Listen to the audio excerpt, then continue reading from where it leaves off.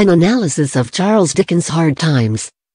Charles Dickens' presentation of characters throughout the novel Hard Times is significant to the perception of the story and the individual characters. Often, the voice of the author can easily sway one's opinions on the novel they have written, as can be seen in Hard Times. Dickens' presentation of Louisa Gradgrind in Hard Times allows readers to see the emotional and moral value that, that those in the lower classes may experience, and the emotional emptiness that often resulted from upper-class societies in the Victorian era. Louisa first began to understand the value in lower-class life through experiences with Sissy that allowed her to understand the deeper sense of humanity that can often be found in lower-class life. Towards the end of the novel, Dickens reflects on the knowledge that Louisa has gained through Sissy. He writes, but, happy Sissy's happy children loving her. She holding this course as part of no fantastic vow, or bond, or brotherhood, or sisterhood, or pledge, or covenant, or fancy dress.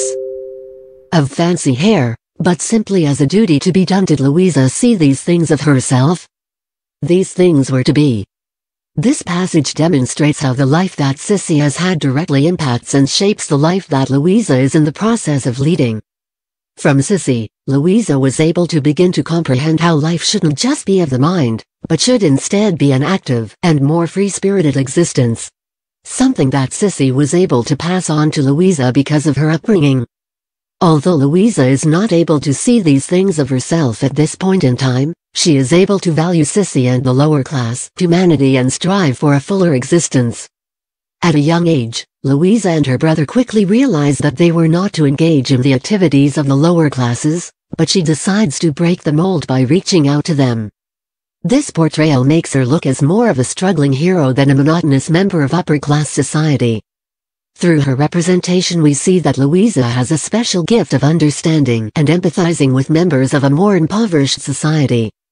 In order to help Mr. Blackpool with his many burdens, Louisa decides to give him some money. Dickens writes, Louisa colored, and a purse appeared in her hand. The rustling of a banknote was audible, as she unfolded one and laid it on the table. Rachel, will you tell him for you know how, without offense that this is freely his, to help him on his way? Will you entreat him to take it?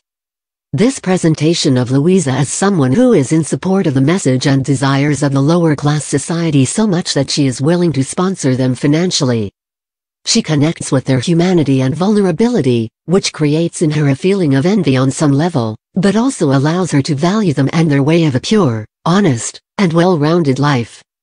Throughout hard times, Louisa struggles with how to abide by social norms, yet still be her own individual person. Louisa desired to please her family, so she married Mr. Bounderby because it was socially acceptable. However, she soon realized that she had made a huge mistake. She was now trapped in a loveless and unsatisfactory marriage. Her entire family knew that she wasn't particularly fond of Bounderby, as Tom says, My sister Lou? Said Tom. She never cared for old Bounderby. Why won't you tell me, Mr. Harthouse, that you really suppose my sister does care for old Bounderby? Louisa had a desperate need to be accepted by her family, but in acting on that need she was left feeling hollow and numb to herself and her surroundings. Dickens' presentation of Louisa shows a girl who makes choices based on others, instead of herself. Which allows the reader to enter into her emotional pain as they can understand the frustration and dissatisfaction she is dealing with. Later on in the novel we find Louisa having a very important conversation with her father in which she explains why she wishes that her marriage would have been based on love and not on social standing, as can be seen by those in the lower classes, and how jealous she is of those who got to make such decisions out of something deeper than simple practicality. This presentation of the reader shows her emotional anxiety and emptiness that leads to her appreciation of a simpler life. Louisa always had a dream of what her life would be like had she not had to hold herself up to the impossible intellectual standards of the upper-class society. Through her imaginations of her ideal life, Dickens was able to represent the feeling of emptiness and dissatisfaction that can result from the wealthier and more rigid social classes. He writes, Neither, as she approached her old home now, did any of the best influences of old home descend upon her. The dreams of childhood its airy fables, its graceful, beautiful, humane, impossible adornments of the world beyond. What had she to do with these? Dickens is able to show through this passage the sharp contrast between Louise's desired childhood, and the reality of her childhood, which she has yet to fully recover from. He presents her return to home as a very sad and empty experience, unlike one would expect from a child returning home after being away. This small sentiment beautifully presents the numbness and dissatisfaction that Louise experienced as a result of living the upper-class life that she never truly wanted, and present her as a character weakened by the emptiness of money and knowledge.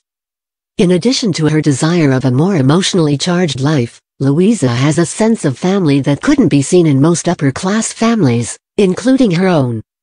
The small sense of family that the Gradgrinds did have was so clearly in contrast with the behaviors of most upper classes, that they painted those classes as more emotionless societies.